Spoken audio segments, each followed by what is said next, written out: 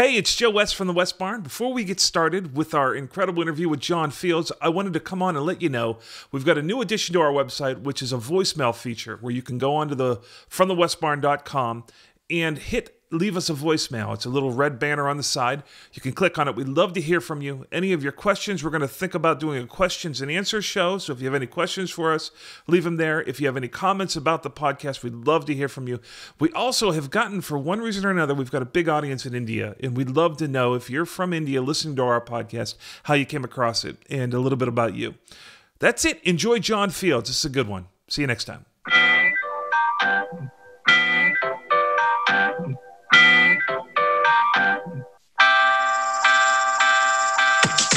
Hey, it's Joe West from the West Barn with Mike Shimshack. Today, our guest is legendary producer John Fields, multi platinum producer, songwriter, mixer, multi instrumentalist. He's worked with a ton of bands in multiple genres like Demi Lovato, Selena Gomez, Miley Cyrus, Pink, many other uh, pop acts, uh, Jonas Brothers. Uh, Backstreet Boys, but also a lot of great rock bands, Switchfoot, Goo Goo Dolls, Lifehouse, goes on and on and on. Tons of great records. I recently, I'd been knowing John just through hearing his name and being like tangentially connected on records. There was a band out of Minneapolis that I had mixed a record for called Dropping Daylight that was one of my favorite bands ever. And as I mixed that record, I was listening to the uh, EP before that and just so envious of the sound. And the producer on that record and mixer was John Fields. Uh, he's a magic man, lots of great records, and he's had a long and productive career in the music business. We want to welcome to the show. Welcome to the show, John Fields. Thank you very much, guys. And just to clarify, I did not produce. I just mixed that dropping daylight. Oh, okay. I mean, EP. That's that cool. was so good. That record. They were one of my favorite bands. Um, they were like Incubus meets Ben Folds Five, if you can imagine. Exactly. It was right? a piano-based rock band that that just with with Sebastian's vocal just soaring high notes and and they were from Minneapolis, which always, you know, for me that gives you extra credit. So yep. I was chasing them, chasing them. I was living in LA at the time, but I was chasing them down and and uh it I got to mix that one record, but I didn't get to produce the the next record. That's too bad because I wanted well, I to. can remember thinking as I was listening, like, why isn't the guy who mixed this record? And I'm I was mixing it. Right. You know, I'm like, well, why are they getting this guy to mix it? Because it was one of those frustrating situations where my mixes weren't as good as the mixes that you had. It's just a question. You know, it's it's so crazy. Uh, you never know what gigs you're going to get, and right. so you kind of take what comes, and you hope that you can work with. You know, it's weird. It's like I have chased some bands, and rarely does that work out. Right. That's so true. You want it so bad. I'm totally with you on that. And I was telling me and John were talking on the phone prior to the interview. And I was telling him I had done a record in New York that I had desperately wanted to do. And I had like submitted a bunch of stuff to the A&R guy and got rejected and then got hired to do that record from the production company that eventually got it. So it's like, it's, it's crazy. Some things you want to do just because you have a heartache for them. Right. And as songwriters and record producers, we have heartaches for projects.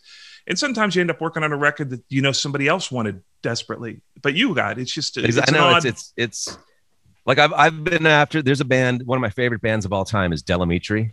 Oh yeah and I have tried, you know, through my manager Frank, you know, contacting their managers. If you guys are ever, you know, they were disbanded for 20 years, and actually they just made a new record that came out or that's about to come out.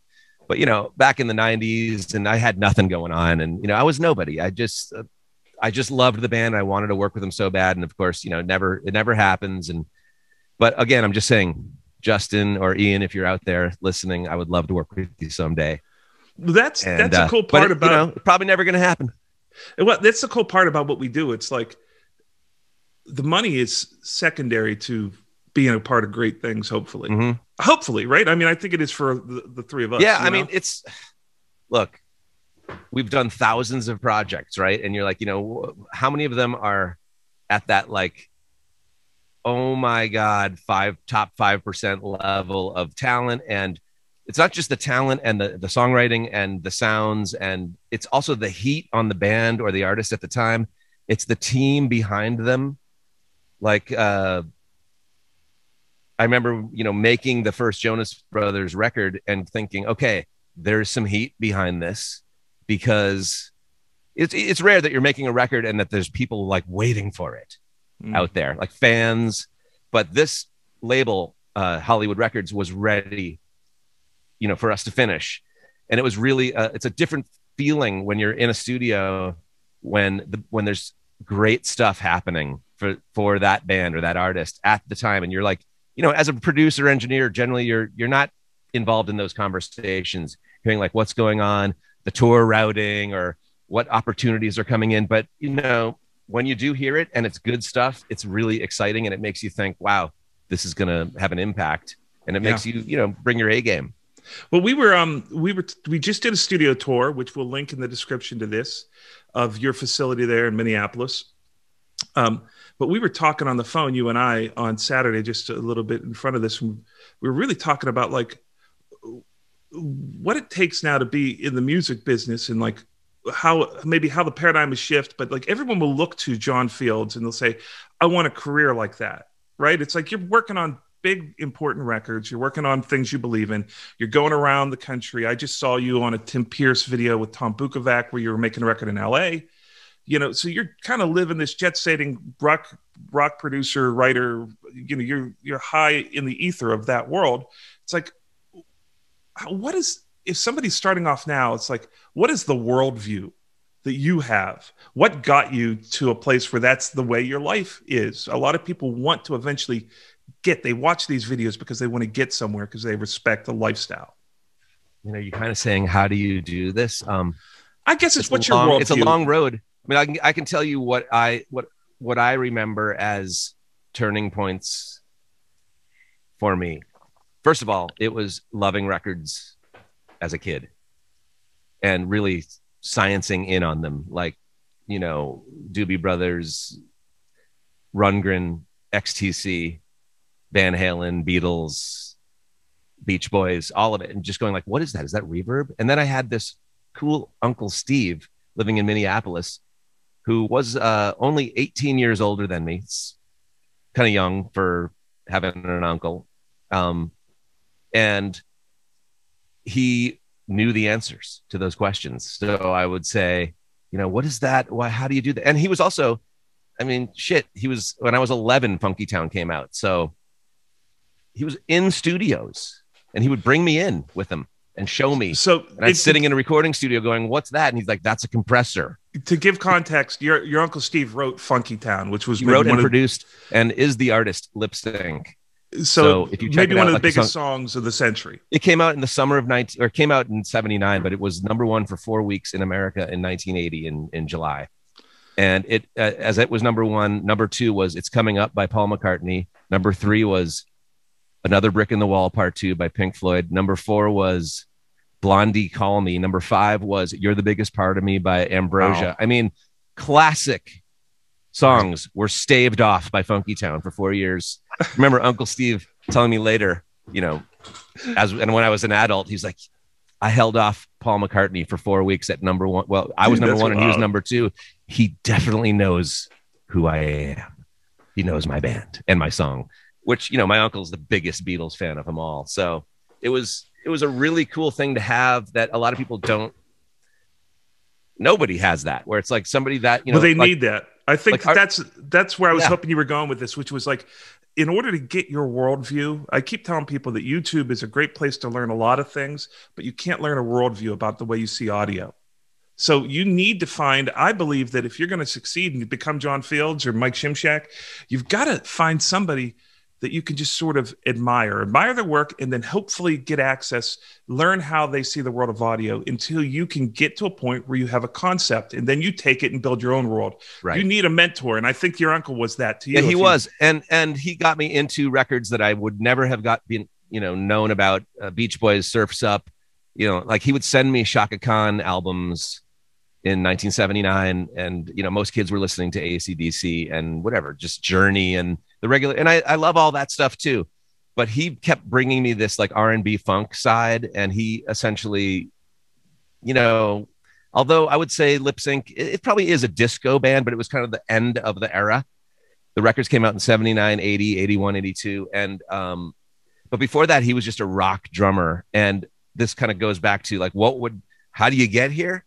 Well when i was uh, 18 19 when i moved to minneapolis he was uh, this is the late 80s he's he you know he had had a successful before all this funky town stuff he was basically in a wedding band a successful wedding band here in in minneapolis st paul.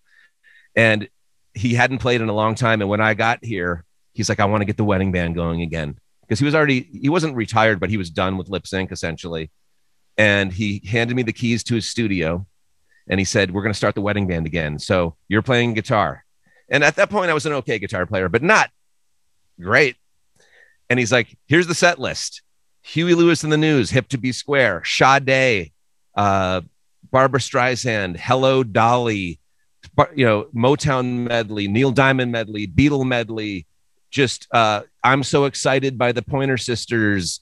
So basically topical kind of current cover band, late 80s cover band, playing at country clubs.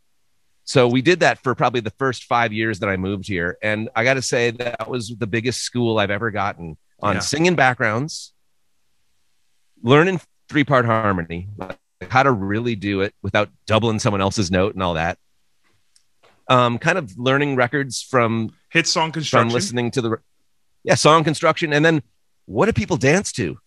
and how to make an ending that of a song that fades and you know just all these things that that you know live musicians have to do and have to figure out and honestly i really think that informed how i make records today what do you think so, like what do you think your life would be like we can't know what do you think it would have been like without your uncle to give you so crazy i it's i don't know i mean i mean you know maybe I, there's I a version of this where you're just successful but you know, I I don't know that I'd be doing music. I honestly don't. I just don't think I would because my family wasn't necessarily. I mean, we list. You know, I had an older sister that was that got me into Steely Dan and you know Michael McDonald and stuff. But uh, my parents were not, and and there was nobody in the neighborhood, and there was you know nobody, no kids. And I grew up in Newton, Mass, and I don't know. There, I'm sure there was some musicians and stuff, but I didn't really know any. Well, so I, think- I, I it it changed everything to have this guy living in Minneapolis. And, and what that what what happened is, as soon as I could, I wanted to move here. Mike, did you have someone in your life like that? I know I did. I've talked about him on the program, a mentor. Uh, no, I definitely did not. My parents were very supportive. I have to admit, though, they were yeah. very supportive. But no, I'd probably. But you say again. I'm sorry, I interrupted you. I'd be a much better musician um, if I had like what John had, where you know, like learn these parts and like you know everything i do is still on instinct you know um i had a band you know we toured like crazy but no i i guess i kind of figured it out a little bit on my own but i would love to have had a, a real mentor that it's been- crucial and i think like when you look at the studio tour if you go and watch that that segment on the youtube channel that we just did with john when he walks through his studio there's no insecurity in the way that gear is laid out. Every gear has purpose. Mike Prezer over near this thing because it goes through this, and this is my, you know, he's made decisions. Part of my real, my big problem is with, you know, on that dropping daylight record, when I mixed that stuff, David Bendeth produced it. In those, those songs had 108 to 120 tracks on each of them we're talking eight kick drums, different snare drums, DIs. And know, part of me is just like, make a decision your producer make the print what you think and then i'll interpret what you think you know? But it's like when i look at your studio it tells me this guy has a concept. He knows how he sees the world. He knows what he wants his pianos to be. He knows what he wants you. his drums that, to that's, be. that's that's i mean that's a compliment. I got to say another reason for and i and i'm a commitment guy for sure. Yeah and that's because i grew up with a 24 track. And um you know from 92 to 2000 when I really cut my teeth, I wasn't using, I was using computers for sequencing and MIDI, but not for recording. So I my first in the box record was probably 2001, and it's called Iffy by Bayada Bondo. If anyone wants to hear it, but completely recorded and mixed in the box. But everything before that was like tape, tape, tape. So you got 23 tracks and SMPTE, and you got to get it all on there. Yep. So Tambourine is sharing the bridge synth track 21 yeah and the background vocal on the outro. And you got to figure out how to make all that fit and not erase it. And, you know, having done that for, for in my 20s really helped me, you know, like whenever I see, I, I mean, I mix a lot of other people's records too, and I mean, nothing more annoying than getting a 57 and a Royer on the same freaking guitar track. Just pick a sound. It's like I got to have a choice. Just make me the choice. The DI really I, gets me. I, I to like... be honest, dude. Nine out of ten of those, I erase one of them. I just get oh, rid oh, yeah. of it and I pick one. I'm not gonna like make a subgroup and check the phase and just pick the the freaking those mic. That the, that's good. the beautiful thing about getting these old like two inch machine. Uh, you, you know, in New York, I I had access to the brain salad ELP brain salad surgery, 16 track on two inches. When you brought up the faders, it was kick drum, stereo drums, and then everything else. And it was like effects printed. It was done. It was right. essentially mixed. You were just like, the mix was like a, a bonus ad at that point because they were used to just getting what they got. But there was a yeah. beauty in, in the closure of it. But to go back, I just want to I just want to reiterate, reiterate this because I think the people that watch this program if they're like I was, I was so desperate and searching for wondering what my life would be like, how I would get there, what the big breaks were, what the magic tickets were. And the magic I think the takeaway from this discussion is find somebody that you really respect their work. Like when I listened to your mixes of the Dropping Daylight stuff, I was inspired by them. If I lived in Minneapolis, I would be like, where is this guy? How do I get in his studio? How do I get on his radar? Let me sit in and clean up after your session. Let me get coffee and bring pencils. Let me do whatever until I can be of value. Like that's the way. Study under a John Fields for a year, be bring great value to his life, make his life easier. And then next thing you know, John's going to say, "Hey, can you do this vocal for me? Can you do take care of this while I'm doing that?" The next thing you know, you've got a worldview because you've seen John Fields make records. And just like John learned from like he learned from his uncle, he learned all that stuff, but then he lived with it and baked with it for 20 years. And it became yeah, that's, that's that's the thing is the, is you gotta I mean, I know I was shit at it I just, I, it was, it was terrible. I mean, my music was bad. My recordings were bad. Everything was bad uh, back then. And, but, but he made me learn opcode with my Jambox and my Linn 9000 and my DX72 and, uh, you know, how to do MIDI and how to sequence and how to quantize and just how to right. like build a track. And at that point, literally, I'm listening to like Scritti Politti and Bobby Brown and LA and Babyface and Jam and Lewis and Prince, of course, we're in Minneapolis. Yeah. I mean, he's the king. And I'm just trying to figure out how do I do that? How do I make that sound? And and it was hard. And I and and and but but here's the main thing. I went to the studio every day and I st- I stayed there for 12 hours a day being, you know, just figuring it out and being excited by just probably what was pretty bad music. Well, but, th- that's the basis of it, though. It's like, for instance, if you call it a worldview, you know that on Earth we have gravity. You know that water gets you wet. You know these rules, and you learned those from your uncle, and you had to sort of slop around in them for a period until you found your thing. But you knew the rules, the rules of the universe. People don't get that off YouTube now, right? And if they can find a guy, this is how you become. Uh, in 12 hours in the studio is nothing because you love it. It's not. Yeah. It's not doing push-ups. You're not sitting there doing push-ups and pull-ups all days. This is you love being there. So it was for up. me. It was it was studio day, gigs at night, and and the live playing really informed the the studio stuff, and also introduced me to so many people in my town. And I had the the studio that you could you know I could bring my friends over and record their record or make a new song and didn't have to charge them or I think at one point it was ten bucks an hour or something like that. Uh, I made, but I also made like reggae records, jam band records. I mean, you know, remember like early 90s, big right. jam band scene. I would make a record in three days with a jam band. And, you know, these are sometimes great musicians, sometimes B and C musicians. But that was another thing that I learned uh, by being maybe also in a, in a, in a, in a town like Minneapolis, not like a Nashville or a New York or an LA, is that um, you just you kind of take the gigs that come and uh it's like a it's just you end up making records with bands that that are very successful locally that maybe don't have a global uh, a, a country a national outreach national reach. And um you know they're big in minneapolis but nobody's heard of them anywhere else. Yeah. And so i made a ton of those records and that really taught me how to do it. And that's and and and when I ended up getting, you know, more major label gigs and so forth, that you know, not every band's from LA or Nashville, but but most of them aren't, to be honest. But um, when you end up working with a band that's been together since high school, you know, they're not always the best musicians. They're they're they've only played with each other. They never played in cover bands, but they got signed and now they're there and now they're working with this producer. So I felt yeah. like one of the the best, you know, things that I had going for me was that I had already worked with a ton of musicians and I, I didn't have to like sub out the bass player for somebody better or get a pro. I would work with the guy in the band until we got That's it right. Point. And that takes a little longer. And but you know, I was never a guy, I've never done it, replaced someone on a record, gotten a pro drummer instead of the band's drummer. I never did it. So, dude, that's a great point. You know, this, the blessing of a secondary market is that you grow a muscle that can turn an average band in the right situation into a great band through mixing prowess and production right in engineering.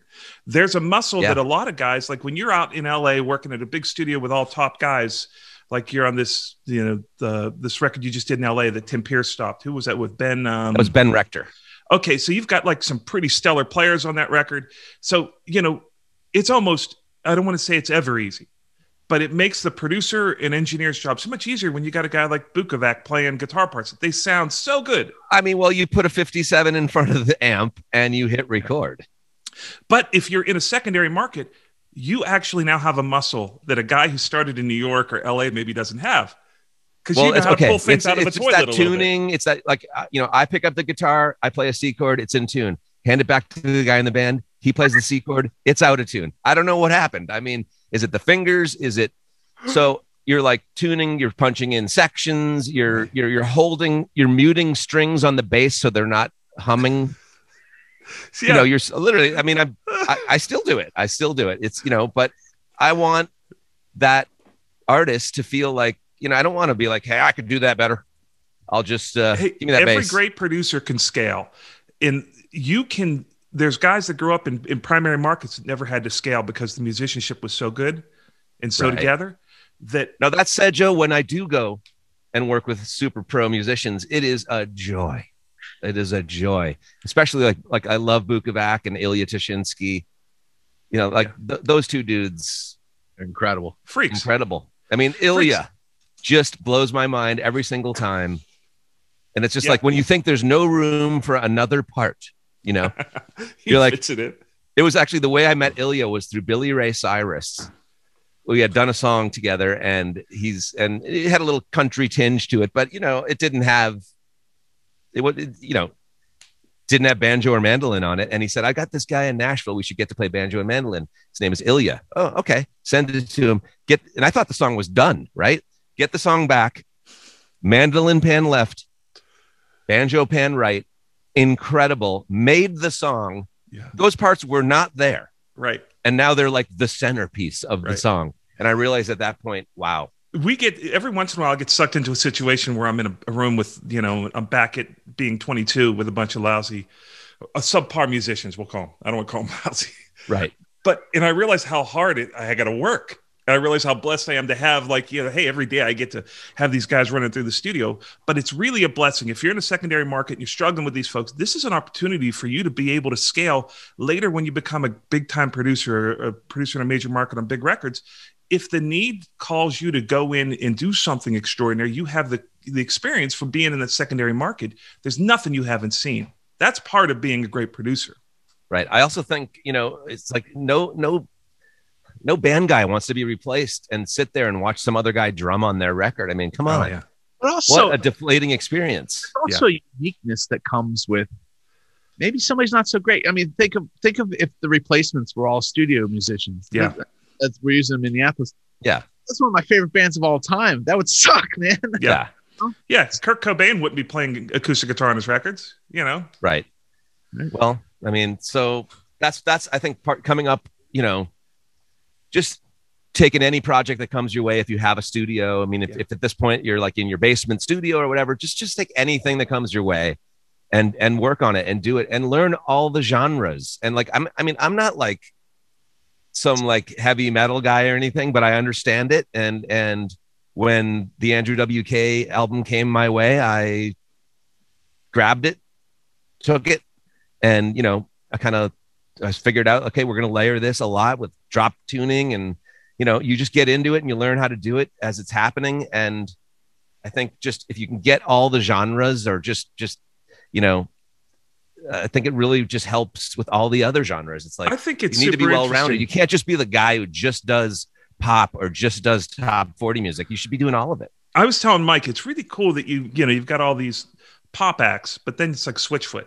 It's like that's not totally normal, you know, to have guys having high profile records that are really, really big rock records, right? And aggressive records, and then doing pop stuff. What what do you is that just your like your musicality? Is it just you as what you like? I- I what mean, do you I attribute that to? I don't know. I mean, wh- why? Well, why Switchfoot is is just so heavy. sold a lot is because to- they're amazing. It's because because the But songs why are are you doing it? Oh, Why don't well, they, they- use some they guy took- that just does that? I mean, I can tell you why. The the I met the manager of Switchfoot. He said, "Hey, I've got this band I manage. I think you do a great job with them. Do you want to meet them?" I said, "Yeah." We're we're playing at SIR for a showcase tomorrow night. This is I just moved to LA, 2002, and I go down to this SIR showcase where they're playing a three song set in front of bidding war record companies in LA, and I see them play, and afterwards.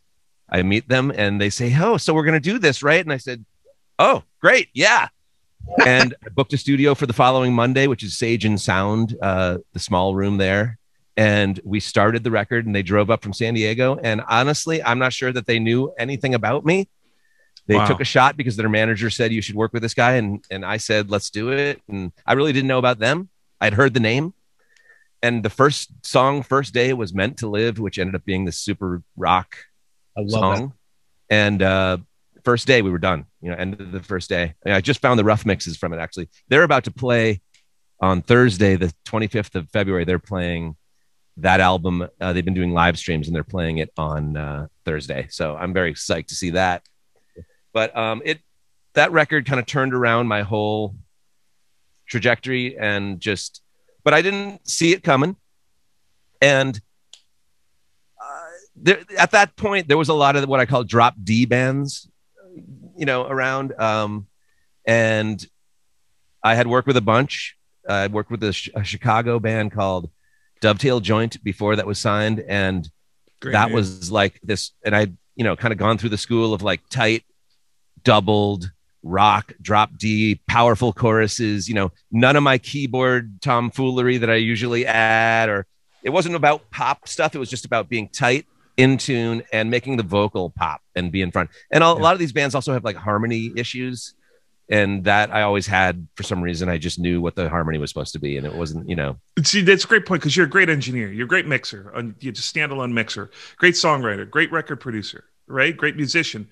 But it's like you're kind of like anything you need to do, you can do at a high level.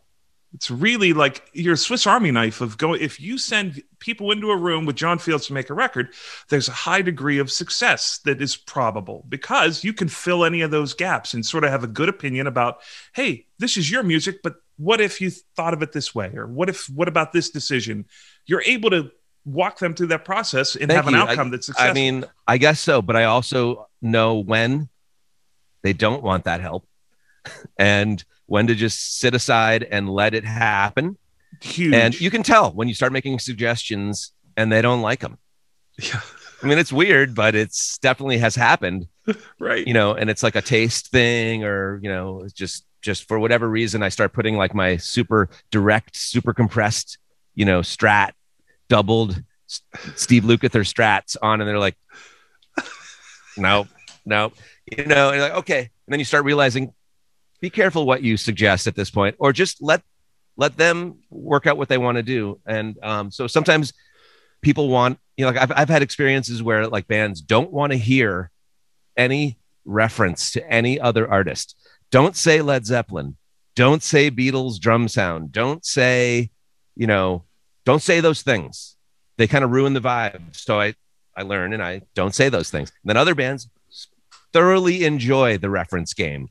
Let's listen to Peter Gabriel right now and make that, you know. So I, and you just have to be, be This willing is- to do both. this is a super huge concept here that, that most people they're so desperate when they get into a room they want to prove themselves. I've got to i've got to have some value. I've got to show these people my value. But sometimes you know the maturity of a producer like you is to say hey i'm just going to chill. I'm going to pull back and whatever happens i'll be able to help create. That's a super that's overlooked. People um goes against human nature goes against ego it goes against insecurity. That's a big big thing that takes a long time to learn. But when you can learn that then you really are able to fit any void in the room. And if you've got the if you've got the the years of experience you're confident that you can do that. Well i guess so. But you know that doesn't mean i'm you know always happy with with the trajectory of my career or anything like that. Because you know as we're freelance so it's like you don't really have control of what what comes. And you know i'm not like turning down radiohead and coldplay offers all day long you know? It's uh but i'm happy with what i have. I'm, I'm not saying I'm this not. is a great just, point. I had a hit songwriter buddy of mine who was he was we were somewhere and somebody a new songwriter came up to him and they were just just like so impressed to meet my buddy who was a hit songwriter. And and he turned around to me and he said you know he referenced another hit songwriter that was bigger than him and he said if that guy had my career the bigger songwriter he would jump off a building. You know and right. you just see like the relative perspective yeah like it's you do play that game in your in your your mind. You know you look at at uh, occasionally I'll, I'll hear a great song and i'm like who made that record? And you know inevitably it might be some friend of mine that i never knew about that he did this record in england or something. And it's cool. You call that guy you're like dude i just heard that. That's amazing. You know? So um but yeah there's there's you know, coming up, there was always, I mean, I wouldn't necessarily call it competition or jealousy, but there's like this thing of like, I wish, I wish I got in there. If I could just get in there. Like I've always wanted to make a record with XTC, one of my favorite bands, you know, and it's just, you know, it's like, but then be careful what you wish for is the other thing. Right. You know, six months later, you're, you know, well, yeah. Then you're like, what is it really like watching the paint dry in there? You know, is it, is it, So, and I've always been like a fast record maker. I just can't stand sitting around. I mean, right. I, I, don't take a lot of time. Day a song for me, maybe day and a half if you're, you know. Yeah. Otherwise, you start re- rethinking everything you thought. Yeah, and or you know, sometimes it's you know, if it's if the artist is that way, then I have to go with it. Right. But um, usually it's as fast as possible. So when you're doing these songs, it's like okay, you're creating, and then are you starting to mix while you're tracking the yes. vocals. Like it's happening. Ha- and then yeah, I would say mix, by the end of the day, there. Yeah, by the end of the first, you're start, you know, starting from scratch, click track to, you know, 8 p.m. It's, I would say that generally speaking, the artist goes home with what sounds like 90% of their record. You yeah. know, I mean, I'm, I'm even quickly, I mean, I have some template stuff like everyone does, but, you know, quick ways to like fatten up the kick with a sample or, uh, effects for the chorus, vocals, or you know, certain delay throws are all kind of set. So I can just quickly do that stuff. I mean, even in five minutes at the at the end of the day, I can just quickly tweak up the mix, jam on a couple master fader plugins, make a bounce, put it on Dropbox, and they're going to be stoked. And then when they come back in the morning, we you know we, we fix notes for an hour, first hour, fix the notes, and then generally speaking, it's move on to the next tune. Yeah. And just kind of do that for five days in a row. And I like to, I don't like to work more than five straight. Have you ever had this? Um, I had an inclination that I wanted to write the record. Then I wanted to produce and record the record. Then I wanted to mix the record. Then I wanted to move on to the next record. But then I found out sounds horrible. It's like that, like my body wanted to do that. But then I uh. found out it's just not possible. I'm always writing. I'm always producing. I'll throw a bridge into a into a song while it's being mixed. Oh yeah. You know, there's it leaves you like let's say like people listen to your record. Like I listened to your dropping daylight mixes and was so envious. Just thought, man, this thing sounds so good. I imagine in my mind's eye, I imagine you sitting down, starting a song a day, starting off with a kick drum, but it's not that way really. You're telling me it's like you're kind of just doing this. There's not that point where you're right that developed you know? over time. I mean, I would say, you know, that and I didn't really perfect my pro tooling concept till uh, you know I, as i said i started like fully in the box in 2001 and it like my my brain had to make a shift about analog versus digital in that i used to think of Pro Tools as like, you know, you'd cut your song on a 24 track two inch and, you know, your basics and all that. And then you'd make a rough mix and put it into Pro Tools. And then you'd do the vocals in Pro Tools. And at the end of the day, you'd finish the vocal, you'd comp it, and then you'd print it back to the to the 24 track tape like as if that's the final resting place that shift for me never didn't take place i remember i was making a record with semisonic it was called uh, chemistry i think it was their third record and their drummer jake slichter was the first guy that ever said to me oh just make a rough mix put it in pro tools i'll do some stuff at home and then we'll just fly it fly it back and i'm like I didn't even get it. Like that concept of like that everyone's digital Pro Tools rig is the same. So you don't have to worry about SMPTE or this right. or that. It's just like once it's there, it's there. And I just my it blew my mind like, oh my God, anyone can just do any overdub and send it to me and I can just put it there. It's not about tape final resting place and then we're gonna, you know, bring that tape to JJP to mix or something like that. It's this is the the computer is the final. And once i've got that shift in my brain that's that's when i started realizing the power of pro tools and and just the ability to work fast and multiple projects in the same day and kind of all all, all of that you know and templates and just getting getting fast at something. Right uh engineering which used to be a slower thing when we were in the analog world. Yeah and so when you went away from consoles you're saying that's around 01 is that like you know there's a nostalgia. Everybody wants a profile picture with a nice console behind him i mean it's just like it's almost like an old polaroid picture. It's just i love the idea of it i remember i sold that console we bought it for $30000 what did you have an amek amek einstein uh-huh i remember that desk and it had a, an atari 1040 st uh, vca style computer that would give us automation on mutes and volumes and uh, it was great. I mean, it was a console had it was inline, so it had 64. It was 32 channel, but it had 64 EQs and 64, uh, 32 mic pre's, but 64 EQs on on on mix. So you know, but still, it's an analog mix. Even with automation, it's it's an analog mix. I didn't have that many outboard stuff. I had like I remember the Varimu was one of my first like big time. Ooh, that's gonna we're gonna put that on the master mix. But before that, I never had any compression on my master bus. I didn't even know that you did that. Uncle, Uncle Steve never told me to do that because they didn't do that uh. on Funky Town. They did not put compressors on the mix. Maybe some people did. I know the Beatles did when they would bounce over between four track to four track, but that wasn't like, uh, you know, it was like the mastering guy would right. put the Fairchild on it. Right. That's why it sounds like that. So I never did that until I met this guy, Chuck Zwicky, who was another mentor for me, a local guy who had tons of knowledge. He was a bit older than me, and he was the first guy to say, "Tell me the things like under snare mic out of phase, and now it's going to be fat." Whoa! Uh, just things like just basic things, and then like stereo bus master master compression and parallel stuff that I didn't even nobody even said it. It was not in Mix Magazine. It, it just wasn't. It, it was, right. you know, delay compensation hadn't even been invented yet in Pro Tools. You couldn't even do it if you wanted to do wow. parallel compression. So, it, uh, you know, when I switched over in about 2001, and then I moved to LA in 2002, and uh, couldn't bring the console with me or the tape deck, and I left it at, at my house here in Minneapolis. And uh, at the end of the day, I think we sold it for 500 bucks. Wow. the console. And I ended up selling the tape deck to a guy in LA right when I moved back to Minneapolis a few years ago. I think I told sold the tape deck for two grand. Oh lordy, Otari MX80. I had one of those. Yeah, loved it. Yeah. Loved it. And I had the CLASP system for a little while yeah. in LA, and I brought it out there. And turns out that it, it, was only as good as your tape deck is. So, and I had an Otari MX80 and not a Studer. So I was like, yeah, I don't think it's better and worth the hassle.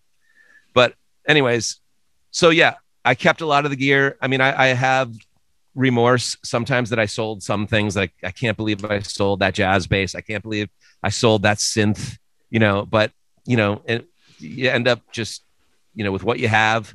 And when I got, when I started making some more money from the, from the records I was producing, I started buying dream, you know, uh, desert island gear. Like I've always wanted a Juno 60 and I never had one. So I'm like, I'm going to buy one on Craigslist. So, and it was nice being in LA because there was just a lot of Craigslist ability. Like kind of Nashville has the same thing. You go through Craigslist musician and uh, music gear in Nashville, and it's like unbelievable. Here Right. in Minneapolis, it's kind of slim pickings. Yeah, I think that when you look around your studio in our studio tour, that you see that all the stuff you kept was all the the right stuff. It was all the stuff that's like thumbprint stuff. You know, you'll do the Pro Tools stuff in the Pro Tools world where it's easier and better and more convenient, and then you'll send it out and you'll do this really funky thing with the TG1 limiter, right? Yeah, Because it's I- a thing, yeah. like an analog thing. Like my thing on on on did on on vintage gear, it's beautiful when you go to uh, you know Blackbird and you have all the choices and all the 1073s and all that. But I don't need the 1073s. I mean, honestly, I would never spend that money on a pair of 1073 vintage, you know, in a boutique audio rack with some weird proprietary power supply that no one knows how to fix. You know, in Minneapolis when I it have breaks one of those. yeah, i- i- exactly. And they were the thing. You know what? You know, at this point, I want like I kind of made a new a policy in the last five ten years where it's like I'm going to buy new gear by new companies that I really like that works, and then if they if they break or if there's a malfunction, you can send it back to Geoffrey Daking and he'll fix it Right. or or Phoenix or uh, you know API is a company that exists. I mean, I guess Right. Neve is a company, but it, it's you know to fix these weirdly uh, put together boutique audio racks. Yeah, the new Neve is not fixing old powers, 24 volt Right. power So- supplies from the 80s. and honestly, consoles. it's you know I, I just want gear that works. I mean, I know. Look, it's not my Phoenix is not a 1073, but it sure sounds like one to me. And at the end of the day, I kind of don't care. And we were, you know, talking about that Phil Collins thing where it's like you watch the making of the Mama album with Hugh Padgham, and Phil is singing into an M88 in the in their Right. billion dollar studio. He's singing into a two hundred and fifty dollar mic yeah. and it shows you that it doesn't matter. It's because Phil's singing. And you know, yes, I have nice gear and I've collected some nice gear over the years, but at the end of the day, I don't need it to make the records. I mean, I'd It's be happy brilliant- with an Audio Technica mic It's- for the lead vocal if we needed it. If that's It's all a- we had. yeah, it's a brilliant synopsis because it's like what you're not seeing here. It's like, yeah, it doesn't matter, but it totally matters. There's things Right, you'll it's die on a hill for, you know. But it's but it's the difference is you got 30 years of doing it to know what it is you'll die on a hill for and what you won't. Some things it's like there are no rules. Sometimes there are some rules, and it's like Yeah. the experience. and I, I reserve the right to change my mind at any point about what's important. Well, here's a good question then. What is the desert island gear in that studio, right? What is I mean, the for me, it's honestly the Mastering Lab Tube mic pre that Doug Sachs made. There's only there's not that many out there. The reason that uh, is JJP told me that they uh, if if- if you know the, the Bill Schnee studio, if you ever heard of that or looked it up, it's in it's on Lankershim in Hollywood. Now it's part of the Larrabee complex, but it's the drum room that Jellyfish cut their two albums drums in. And there, if you look at vintage pictures, vintage being you know early '90s of that room, it looks like a spaceship. But there's rolling racks. There's two eight-channel rolling racks of these Mastering Lab mic pre's right next to like the drum kit, like remote. They weren't remote mic pre's, but they were rather than having them in the in the control room with long XLR 200 foot runs. He would uh, Bill Schnee preferred to put uh, his drums with 10 foot mic cables to the mic pre and then a 200 foot line cable to the to the console. So and Jellyfish Spilt Milk is one of my favorite and most incredible records in my sphere of listening. And uh, he always told me if you ever see a Mastering Lab mic pre, buy it. And I did, and it changed my life. And I Wow. now I want you know Now I gotta go 15 check more, that but out. can't get them. I've never even heard of it. Where do you, they're nowhere to be found? You're saying? There's a couple on eBay right now, and they're you know it's it's a tube mic pre, and there's only one guy that knows how to fix it, and that's Toby Foster in LA. And if anyone else, I mean, there's probably some other people that know how, but Toby Foster was part of that team. Um, Doug Sachs, Bill Schnee. He was Toby Foster was the tech at Bill Schnee's studio, and he, so he knows. And, and so when I bought mine, it was wrong. I, I hooked it up, and I was like, "This sounds weird. This is not good." And I asked around, and they said, "Bring it to Toby Foster." And he's like, "Oh, you need this? You need this cap changes?" And he changed it all. It was like a eighty-seven dollar repair, and it was the most. I remember hooking it up on this singer. The first person that sang on it was her name was Bonnie Anderson from Australia, and I just was like, "Oh, All right, I me. cannot believe this is happening." And at Was- that point, I had been using API, which I love.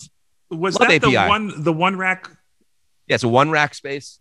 That's a tube ML1. mic pre. The mic pre, very simple. It's That's tube, a tube. though.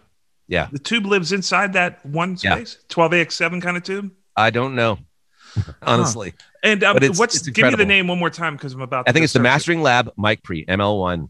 ML1 Master I Lab believe mic so. pre. There's not a. I don't even think there's an ML2. There- I'm gonna go have- buy it before this ep- this episode airs. Um, Joe, so they can- have two at at- at Blackbird. McBride has uh the Of course, he does. he has two versions. The one with the white panel is my favorite. He has the black panel also, which is like the uh, beta early version, I think. But it doesn't have the same switches, and it didn't sound the same to me. But he does have the other one, and you should try that out. You It's have the white cool. one. Yeah. Mhm. and those, and you can see those in in those uh, Bill Schnee pictures and JJP. That's why, you know he told me 16 tracks of tube mic pre on Spilt Milk, and you know if you if you don't know the record Spilt Milk by Jellyfish is Jellyfish, uh, you probably should listen to it.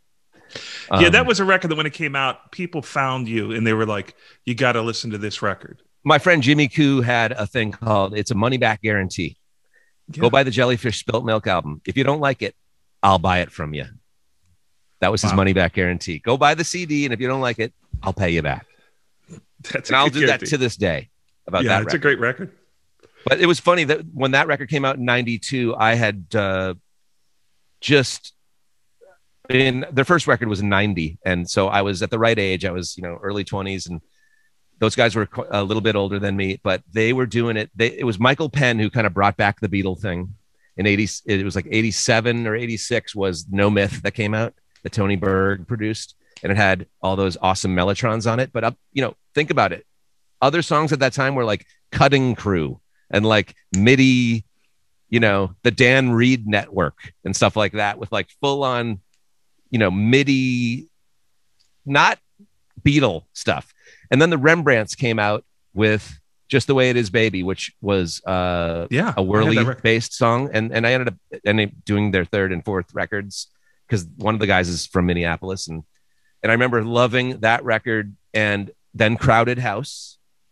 And then uh, XTC made Skylarking in '86, which is the the that is the holy grail record of all. Todd Rundgren produced, but um, that kind of that scene of you know it was the Grays, it was Jellyfish, it was Crowded House, it was Rembrandt's, it was uh, just those kind of earthy anti MIDI records that kind of brought me back into got me away from trying to make like you know the alien babyface Bobby Brown sounding music Yeah. and got me into like back into my pure my real roots which are Beatles and that stuck you know the Mellotrons the Leslies the compression the live drums the snare drums the Ludwigs and uh that said I didn't drop all my funk I had all that I ended up starting a funk band and you know doing because we lived in Minneapolis so you, you had to there was a Prince thing that always had to be going on and so we had that going on with my band Greazy Meal. But at the time, I just wanted to make that Jellyfish record over and over.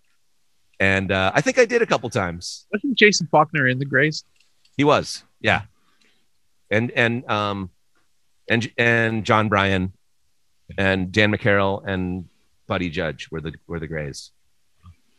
All right, before we let you go, real quick, can you tell us uh, how heavily you process when you're mixing a record? How heavily are you processing your two bus mix, and what are some of the the gags you're doing on your two bus if that's where you're getting a, a- a large part of your sound from? I mean, it's not really a secret because I, I, I, I, at one point, one of my favorite mixers is Tchad Blake.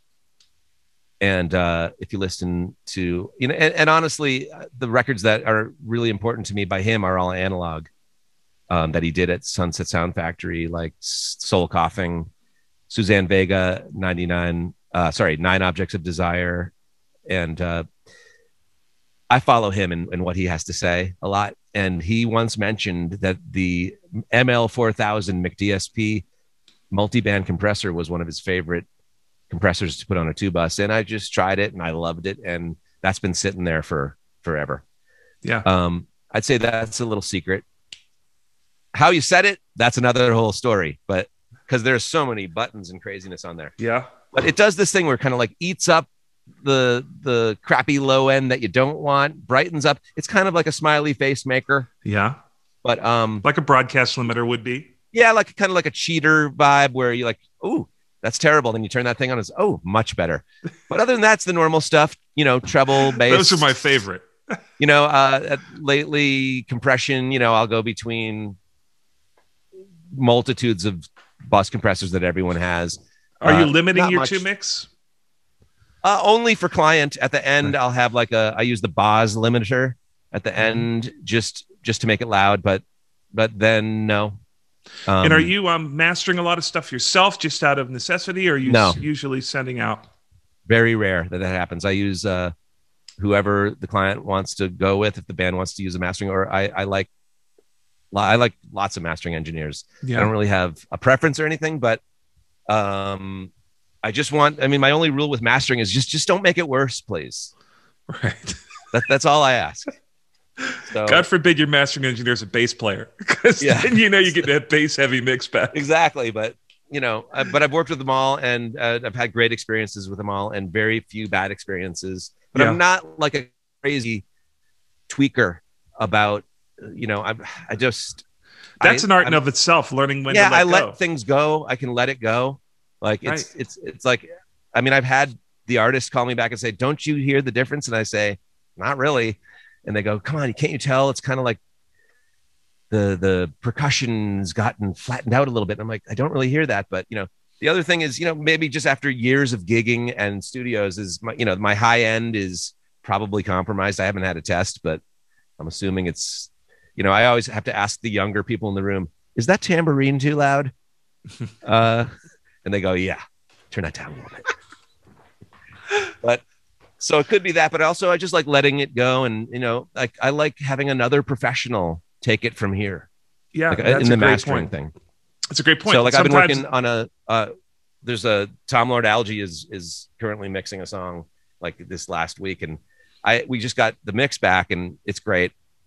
And I asked him, "Do you have like a client limiter on there?" He says, "No, I don't do that. I just this is it. This is what we're going to send to mastering. This is what I send to you." And it's just he makes it even simpler. Yeah. So it made it kind of made me think I should just do that. yeah, that's But it's too but then they listen next to their favorite record. It's and it's 8 dB quieter and you're like they're like why is it Yeah. so weak? Turn it up. this is like all the spinal tap isms of our profession. Yeah. You know, it's like you just have to laugh when you hear someone else talking about all the challenges that you get on a daily basis. Yeah. It's like, are we going to have this conversation? Am I going to have this conversation for the billionth time? Yeah. And how am I going to Well, make it interesting for myself? but at the end of the day, uh, you know, you do you end up doing it because you just, you know, you. It's funny. I always get it back from mastering, and I always go, "How did they get it that loud? What? Right. There's like I could if I made it that loud, it would t- sound It'd fall like apart. crunchy and terrible. And uh, they, is there a secret box I don't have, or what's the Right. deal? Or so Well, you I, know, I'd back- rather just not know. Bat, you were talking about how like it wasn't these these this topic you were talking about. Um, I don't know what it was, but you were saying like you, they didn't talk about it in Mix Magazine. They didn't talk about it. Two bus compression. I think you were talking about. Yeah, and and there was an era where you went into the control room and the engineers were kind of like they didn't want you looking at stuff there was Yeah. there was this thing where people information wasn't free freely shared as it is today i mean you go on youtube now and anyone will show you just about anything so that's that's Sure. a beautiful thing I do And- remember uh, that first mix I did, uh, and the reason I I- like I made a record in '97, one of my first major label records. It's called Tina and the B Sides, uh, all just the same. And I tracked and produced the record here in Minneapolis. And then they said, "Who do you want to mix?" And I said, "Well, I thought I do." And they said, "No, you can hire. We can hire anyone you want. Who are you interested in?" And I remember asking about Jack Joseph Puig, and because he had done the Jellyfish records, and I was like, "Let's get that guy." So I went and worked with Jack on that record, and I was in that studio that you've all seen. That those, you know, ocean one yeah, uh, it's just insane. And I remember looking around at just all the gear and kind of watching everything, and and I was just like, "This is crazy." Like I'm literally, I had a DBX 166 at home and a Van- Manley Varimu, more. And and you know, and this, and and I'm watching what's happening. I'm like, and I and I sponged it up to be honest, yeah. You know. So well hey um, we want to thank you for doing that today with us being so forthright and open about all things from you know just your philosophy and your execution, your studio. It's really good to be able to look into the lives. It's been a me and Mike talk about all the time. What a great time we have doing this podcast. We're coming up on our hundredth episode, and wow, that's and it's, great. It's so much fun because it's a valuable resource for folks. We try to distill it down for people that were the versions of us 20, 30 years ago. But we also we get a kick out of it. I love getting to hang with you for an hour. We I've known of you for 20, 30 years and admired your work. And it's like we get to sit down and hang out with you and Tony Platt and the long Reed Shipman and a long list of people we've been able to do this with and see like we don't usually get to get into a room. It's like right because we're I yeah. We're, different role. We're the same role, and so every project. Your studio is totally cool, man. I'm I'm just jealous of that barn. What an incredible space. Well, come on down to Nashville, and we'll do uh, one of these episodes live in the. Barn. I will be. I'll be there at some point soon. Once this we get out of this deal. Yeah, man. Well, thank you so much for coming on. And Thanks like for having me. So forthright. Shimshack. Thank you, John. You, Great to see Jim you guys. All right, pal. That's it this week for the West Barn. We're signing off. We'll see you next time.